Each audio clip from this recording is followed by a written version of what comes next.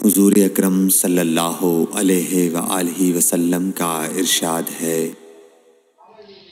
तमाम आमाल का दारोमदार नियत पर है और हर अमल का नतीजा हर इंसान को उसकी नीयत के मुताबिक ही मिलेगा। बस जिसकी हिजरत दौलत दुनिया हासिल करने के लिए हो या किसी औरत से शादी की गरज से हो, बस उसकी हिजरत उन्हीं चीज़ों के लिए होगी, जिनके हासिल करने की नीयत से उसने हिजरत की। सही बुखारी, हदीस नंबर एक। हुजूर अकरम सल्लल्लाहु अलैहि वसल्लम ने फरमाया, कि वही नाजिल होते वक्त कभी मुझको घंटी की सी आवाज़ महसूस होती है, और वही की ये कैफियत मुझ पर बहुत शाख गुजरती है। जब ये कैफियत ख़त्म होती है तो मेरे दिलो दिमाग पर उस फरिश्ते के ज़रिए नाजिल शुदा वही महफूज हो जाती है। और किसी वक्त ऐसा होता है कि फ़रिश्ता बशक्ल इंसान मेरे पास आता है और मुझसे कलाम करता है। बस मैं उसका कहा हुआ याद रख लेता हूँ। सही बुखारी हदीस नंबर दो। आ हज़रत सल्लल्लाहु अलैहि वसल्लम पर वही का इब्तदाई दौर अच्छे, सच्चे, पाकिज़ा ख्वाबों से शुरू हुआ। आप ख्वाब में जो कुछ देखते, वो सुबह की रोशनी की तरह सही और सच्चा साबित होता। फिर मिन जानब कुदरत आप तन्हाई पसंद हो गए। और आपने गार हरा में खलवत नशीनी इख्तियार फरमाई।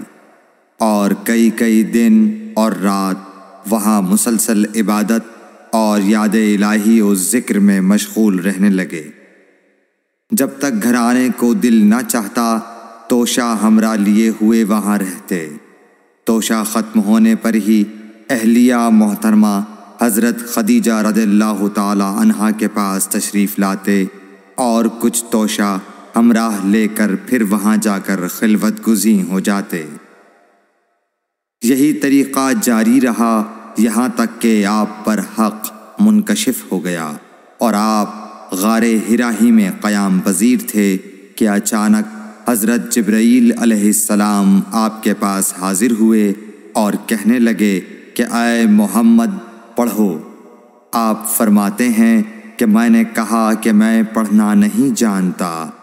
आप सल्लल्लाहु अलैहि वसल्लम फरमाते हैं कि फ़रिश्ते ने मुझे पकड़कर इतने ज़ोर से भींचा कि मेरी ताकत जवाब दे गई। फिर मुझे छोड़कर कहा, पढ़ो। मैंने फिर वही जवाब दिया कि मैं पढ़ा हुआ नहीं हूँ। उस फरिश्ते ने मुझको नहायत ही ज़ोर से भींचा कि मुझको सख्त तकलीफ़ महसूस हुई। फिर उसने कहा कि पढ़। मैंने कहा मैं पढ़ा हुआ नहीं हूँ। फरिश्ते ने तीसरी बार मुझको पकड़ा और तीसरी मर्तबा फिर मुझको भींचा, फिर मुझे छोड़ दिया और कहने लगा कि पढ़ो अपने रब के नाम की मदद से जिसने पैदा किया और इंसान को खून की फुटकी से बनाया। पढ़ो और आपका रब बहुत ही मेहरबानियाँ करने वाला है। बस यही आयतें आप हज़रत जब्राईल अलैहिस्सलाम से सुनकर इस हाल में गार हिरा से वापस हुए कि आपका दिल इस अनोखे वाक़े से काँप रहा था। आप हज़रत खदीजा के यहाँ तशरीफ़ लाए और फरमाया कि मुझे कंबल ओढ़ा दो, मुझे कंबल ओढ़ा दो। लोगों ने आपको कंबल ओढ़ा दिया जब आपका डर जाता रहा तो आपने अपनी सोजा मोहतरमा हज़रत खदीजा रद अल्लाह तहा को तफसील के साथ ये वाक़ सुनाया और फरमाने लगे कि मुझको अब अपनी जान का खौफ हो गया है। आपकी अहलिया मोहतरमा हज़रत खदीजा रद अल्लाह तहा ने आपकी ढारस बंधाई और कहा कि आपका ख्याल सही नहीं है। अल्लाह की कसम आपको अल्लाह कभी रुसवा नहीं करेगा। आप तो अखलाक फ़ाजिला के मालिक हैं। आप तो कुंबा परवर हैं। बेकसों का बोझ अपने सर पर रखते हैं। मुफलिसों के लिए आप कमाते हैं। मेहमान नवाजी में आप बेमिसाल हैं और मुश्किल वक्त में आप अमर हक़ का साथ देते हैं। ऐसे औसाफ हंसना वाला इंसान यूँ बेवक्त ज़िल्लत व खारी की मौत नहीं पा सकता। फिर मज़ीद तसल्ली के लिए हज़रत खदीजा रज़ी अल्लाह तहा आपको वरक़ा बिन नौफिल के पास ले गईं, जो इनके चचाजाद भाई थे और ज़मान जाहिलियत में नसरानी मज़हब इख्तियार कर चुके थे और इब्रानी ज़ुबान के कातिब थे। चुनाचा इंजील को भी हसब मनशाए खुदावंदी इब्रानी ज़ुबान में लिखा करते थे। इंजील सरियानी ज़ुबान में नाजिल हुई थी, फिर इसका तर्जुमा इब्रानी ज़ुबान में हुआ। वरक़ा इसी को लिखते थे।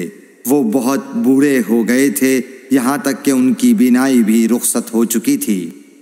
हज़रत खदीजा रदल्ला तहा ने उनके सामने आपके हालात बयान किए और कहा कि अय चचाजाद भाई अपने भतीजे मोहम्मद सल्लल्लाहु अलैहि वसल्लम की ज़ुबानी ज़रा इनकी कैफियत सुन लीजिए। वो बोले कि भतीजे, आपने जो कुछ देखा है, उसकी तफसील सुनाओ। चुनाचा आप सल्लल्लाहु अलैहि वसल्लम ने अज अव्वल ता आखिर पूरा वाक़ सुनाया, जिसे सुनकर वर्का बेख्तियार होकर बोल उठे कि ये तो वही नामूस मुआज़ राजदान फरिश्ता है, जिसे अल्लाह ने हज़रत मूसा सलाम पर वही देकर भेजा था। काश मैं आपके इस अहद नबूवत के शुरू होने पर जवां उम्र होता। काश मैं उस वक्त तक ज़िंदा रहता, जबकि आपकी कौम आपको इस शहर से निकाल देगी। रसूल करीम सल्लल्लाहु अलैहि वसल्लम ने यह सुनकर ताज्जुब से पूछा कि क्या वो लोग मुझको निकाल देंगे? हालाँकि मैं तो इनमें सादिक अमीन व मकबूल हूँ। वर्का बोला हाँ ये सब कुछ सच है। मगर जो शख्स भी आपकी तरह अमर हक लेकर आया, लोग उसके दुश्मन ही हो गए हैं। अगर मुझे आपकी नबूवत का वो ज़माना मिल जाए तो मैं आपकी पूरी पूरी मदद करूँगा। मगर वरक़ा कुछ दिनों के बाद इंतकाल कर गए। फिर कुछ अरसे तक वही की आमद मौकूफ़ रही। सही बुखारी, हदीस नंबर तीन। आ हज़रत सल्लल्लाहु अलैहि वसल्लम पर वही का इब्तदाई दौर अच्छे, सच्चे, पाकिज़ा ख्वाबों से शुरू हुआ। आप ख्वाब में जो कुछ देखते, वो सुबह की रोशनी की तरह सही और सच्चा साबित होता। फिर मिन जानब कुदरत आप तन्हाई पसंद हो गए और आपने गार हरा में खलवत नशीनी इख्तियार फरमाई। और कई कई दिन और रात वहाँ मुसलसल इबादत और याद इलाही और ज़िक्र में मशगूल रहने लगे। जब तक घर आने को दिल ना चाहता, तोशा हमरा लिए हुए वहाँ रहते। तोशा ख़त्म होने पर ही अहलिया मोहतरमा हज़रत खदीजा रदल्ला तहा के पास तशरीफ़ लाते और कुछ तोशा हमराह लेकर फिर वहाँ जाकर खिलवत गुजी हो जाते। यही तरीक़ा जारी रहा, यहाँ तक कि आप पर हक मुनकशिफ हो गया और आप गार हिराही में क़याम पजीर थे कि अचानक हज़रत जब्राईल अलैहिस्सलाम आपके पास हाजिर हुए और कहने लगे कि आए मोहम्मद, पढ़ो। आप फरमाते हैं कि मैंने कहा कि मैं पढ़ना नहीं जानता। आप सल्लल्लाहु अलैहि वसल्लम फरमाते हैं कि फ़रिश्ते ने मुझे पकड़कर इतने ज़ोर से भींचा कि मेरी ताकत जवाब दे गई। फिर मुझे छोड़कर कहा, पढ़ो। मैंने फिर वही जवाब दिया कि मैं पढ़ा हुआ नहीं हूँ। उस फरिश्ते ने मुझको नहायत ही ज़ोर से भींचा कि मुझको सख्त तकलीफ़ महसूस हुई। फिर उसने कहा कि पढ़। मैंने कहा, मैं पढ़ा हुआ नहीं हूँ। फरिश्ते ने तीसरी बार मुझको पकड़ा और तीसरी मर्तबा फिर मुझको भींचा। फिर मुझे छोड़ दिया और कहने लगा कि पढ़ो अपने रब के नाम की मदद से जिसने पैदा किया। और इंसान को खून की फुटकी से बनाया। पढ़ो, और आपका रब बहुत ही मेहरबानियाँ करने वाला है। बस यही आयतें आप हज़रत अलैहिस्सलाम से सुनकर इस हाल में गार हिरा से वापस हुए कि आपका दिल इस अनोखे वाक़े से काँप रहा था।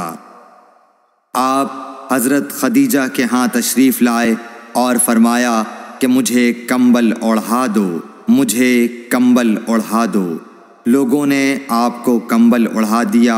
जब आपका डर जाता रहा तो आपने अपनी जोजा मोहतरमा हज़रत खदीजा रदी अल्लाह तहा को तफसील के साथ ये वाक़ सुनाया और फरमाने लगे कि मुझको अब अपनी जान का खौफ हो गया है। आपकी अहलिया मोहतरमा हज़रत खदीजा रद अल्लाह तहा ने आपकी ढारस बंधाई और कहा कि आपका ख्याल सही नहीं है। अल्लाह की कसम, आपको अल्लाह कभी रुसवा नहीं करेगा। आप तो अखलाक फ़ाजिला के मालिक हैं। आप तो कुंबा परवर हैं। बेकसों का बोझ अपने सर पर रखते हैं। मुफलिसों के लिए आप कमाते हैं। मेहमान नवाजी में आप बेमिसाल हैं। और मुश्किल वक्त में आप अमर हक़ का साथ देते हैं। ऐसे औसाफ हंसना वाला इंसान यूँ बेवक्त ज़िल्लत व खारी की मौत नहीं पा सकता। फिर मज़ीद तसल्ली के लिए हज़रत खदीजा रज़ी अल्लाह आपको वरक़ा बिन नौफिल के पास ले गईं, जो इनके चचाजाद भाई थे और ज़मान जाहिलियत में नसरानी मज़हब इख्तियार कर चुके थे। और इब्रानी ज़ुबान के कातिब थे। चनाचा इंजील को भी हसब मनशाए खुदावंदी इब्रानी ज़ुबान में लिखा करते थे। इंजील सरियानी ज़ुबान में नाजिल हुई थी, फिर इसका तर्जुमा इब्रानी ज़ुबान में हुआ। वरक़ा इसी को लिखते थे। वो बहुत बूढ़े हो गए थे, यहाँ तक कि उनकी बीनाई भी रुखसत हो चुकी थी। हज़रत खदीजा रदल्ला तहा ने उनके सामने आपके हालात बयान किए और कहा कि अय चचाजाद भाई, अपने भतीजे मोहम्मद सल्लल्लाहु अलैहि वसल्लम की ज़ुबानी ज़रा इनकी कैफियत सुन लीजिए। वो बोले कि, भतीजे, आपने जो कुछ देखा है, उसकी तफसील सुनाओ। चुनाचा आप सल्लल्लाहु अलैहि वसल्लम ने अज अव्वल ता आखिर पूरा वाक़ सुनाया। जिसे सुनकर वर्का बेख्तियार होकर बोल उठे कि ये तो वही नामूस मुआज़ राजदान फरिश्ता है, जिसे अल्लाह ने हज़रत मूसा सलाम पर वही देकर भेजा था। काश मैं आपके इस अहद नबूवत के शुरू होने पर जवां उम्र होता। काश मैं उस वक्त तक ज़िंदा रहता, जबकि आपकी कौम आपको इस शहर से निकाल देगी। रसूल करीम सल्लल्लाहु अलैहि वसल्लम ने ये सुनकर ताज्जुब से पूछा कि क्या वो लोग मुझको निकाल देंगे? हालाँकि मैं तो इनमें सादिक अमीन व मकबूल हूँ। वर्का बोला हाँ ये सब कुछ सच है, मगर जो शख्स भी आपकी तरह अमर हक लेकर आया, लोग उसके दुश्मन ही हो गए हैं। अगर मुझे आपकी नबूवत का वो ज़माना मिल जाए तो मैं आपकी पूरी पूरी मदद करूँगा। मगर वरक़ा कुछ दिनों के बाद इंतकाल कर गए। फिर कुछ अरसे तक वही की आमद मौकूफ़ रही। सही बुखारी, हदीस नंबर तीन। हजूर अक्रम सल्लल्लाहु वसल्लम ने वही के रुक जाने के ज़माने के हालात बयान फरमाते हुए कहा कि एक रोज़ मैं चला जा रहा था कि अचानक मैंने आसमान की तरफ़ एक आवाज़ सुनी और मैंने अपना सर आसमान की तरफ़ उठाया। क्या देखता हूँ कि वही फरिश्ता जो मेरे पास गार हिरा में आया था, वो आसमान व ज़मीन के बीच में एक कुर्सी पर बैठा हुआ है। मैं उससे डर गया और घर आने पर मैंने फिर कंबल ओढ़ने की ख्वाहिश ज़ाहिर की। उस वक्त अल्लाह पाक की तरफ़ से ये आयात नाजिल हुई। अय लिहाफ ओढ़ कर लेटने वाले उठ खड़ा हो और लोगों को अजाब इलाही से डरा और अपने रब की बड़ाई बयान कर और अपने कपड़ों को पाक साफ़ रख और गंदगी से दूर रह। इसके बाद वही तेज़ी के साथ पैदर पे आने लगी। सही बुखारी, हदीस नंबर चार। रसूलुल्लाह सल्लल्लाहु अलैहि वसल्लम, नज़ुल कुरान के वक्त बहुत सख्ती महसूस फरमाया करते थे और इसकी अलामतों में से एक ये थी कि याद करने के लिए आप अपने होठों को हिलाते थे। इब्ने अब्बास रदी अल्लाह तु ने कहा, मैं अपने होठों को हिलाता हूँ जिस तरह आप हिलाते थे। सईद कहते हैं, मैं भी अपने होंठ हिलाता हूँ। जिस तरह इब्ने अब्बास रदिल्लाह तहों को मैंने हिलाते देखा, फिर उन्होंने अपने होंठ हिलाए। इब्ने अब्बास रदिल्लाह तहों ने कहा, फिर ये आयत उतरी क्या है मोहम्मद? कुरान को जल्द जल्द याद करने के लिए अपनी ज़बान ना हिलाओ। इसका जमा कर देना और पढ़ा देना हमारा ज़िम्मे है। हज़रत इब्ने अब्बास अन्हो कहते हैं, यानी कुरान आप सल्लल्लाहु अलैहि वसल्लम के दिल में जमा देना और पढ़ा देना हमारे ज़िम्मे है। फिर जब हम पढ़ चुके तो इस पढ़े हुए की इतबा करो। इब्ने अब्बास रदल्ला तु फरमाते हैं, इसका मतलब यह है, आप इसको खामोशी के साथ सुनते रहो। इसके बाद मतलब समझा देना हमारे ज़िम्मे है। फिर यकीनन ये हमारी ज़िम्मेदारी है कि आप इसको पढ़ो, यानी इसको महफूज कर सको। चनाचा इसके बाद जब आपके पास हज़रत जब्राईल अलैहिस्सलाम वही लेकर आते तो आप तवज्जो से सुनते। जब वो चले जाते तो रसूलुल्लाह सल्लल्लाहु अलैहि वसल्लम इस वही को इस तरह पढ़ते जिस तरह हज़रत जब्राईल सलाम ने इसे पढ़ा था। सही बुखारी हदीस नंबर पाँच।